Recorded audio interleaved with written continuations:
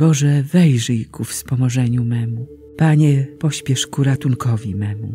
Chwała Ojcu i Synowi i Duchowi Świętemu, jak była na początku, teraz i zawsze, i na wieki wieków.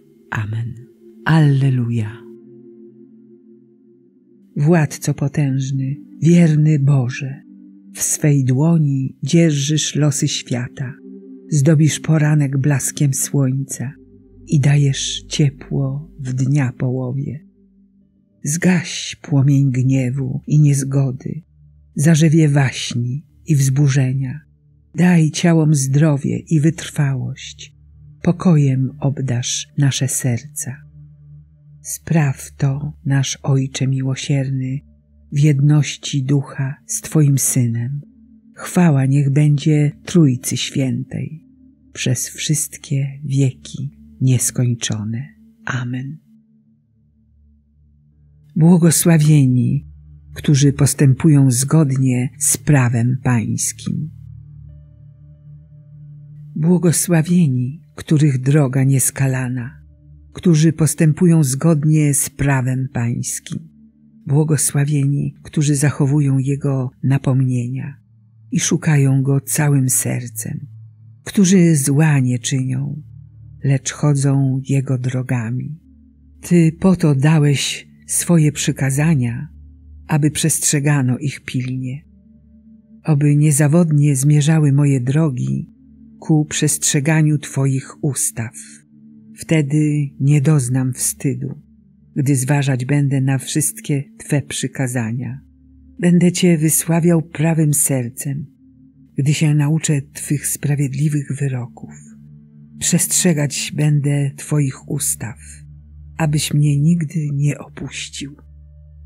Chwała Ojcu i Synowi i Duchowi Świętemu, jak była na początku, teraz i zawsze, i na wieki wieków. Amen. Błogosławieni, którzy postępują zgodnie z prawem Pańskim. Niech moje serce cieszy się z Twojej pomocy. Jak długo, Panie, nie będziesz o mnie pamiętał? Jak długo będziesz ukrywał przede mną oblicze? Jak długo będę ból cierpiał w mej duszy, a w moim sercu codzienną zgryzotę? Jak długo mój wróg będzie się wznosił nade mnie? Spojrzyj i wysłuchaj mnie, Panie, mój Boże. Oświeć moje oczy, bym nie zasnął w śmierci, by wróg mój nie mówił, ja go zwyciężyłem, by się nie cieszyli moi przeciwnicy, że się zachwiałem. Ja zaś zaufałem Twemu miłosierdziu. Niech się moje serce cieszy z Twojej pomocy. Będę śpiewał Panu, który obdarzył mnie dobrem.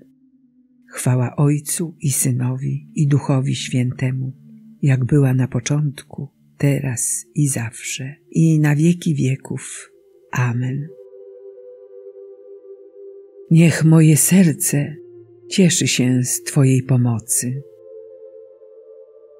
Bóg poddał wszystkich pod władzę grzechu, aby wszystkim okazać miłosierdzie. Mówi głupi w sercu swoim, nie ma Boga.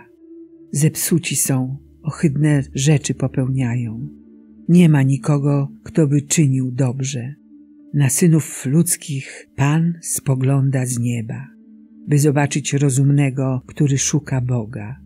Wszyscy razem zbłądzili, stali się nikczemni. Nie ma ani jednego, kto by czynił dobrze. Czyż się nie opamiętają wszyscy czyniący nieprawość, którzy mój lud pożerają, jak gdyby chleb jedli? Ci, którzy nie wzywają Pana, drżą ze strachu, gdyż Bóg jest z pokoleniem sprawiedliwych. Chcecie udaremnić zamiary ubogiego, lecz Pan jest jego ucieczką. Kto przyniesie ze Syjonu zbawienie Izraela? Gdy Pan odmieni losy swojego narodu, Jakub się rozraduje, Izrael ucieszy. Chwała Ojcu i Synowi i Duchowi Świętemu, jak była na początku, teraz i zawsze, i na wieki wieków. Amen. Bóg poddał wszystkich pod władzę grzechu, aby wszystkim okazać miłosierdzie.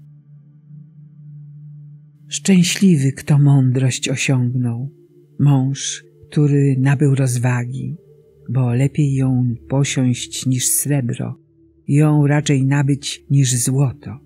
Zdobycie jej lepsze od pereł, nierówne jej żadne klejnoty.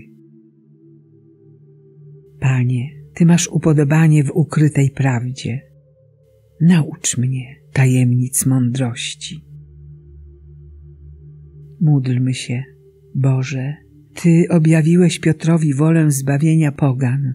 Spraw łaskawie, aby nasze czyny podobały się Tobie i pokieruj nimi w taki sposób, by służyły zamiarom Twej zbawczej miłości. Przez Chrystusa, Pana naszego. Amen. Błogosławmy Panu, Bogu niech będą dzięki.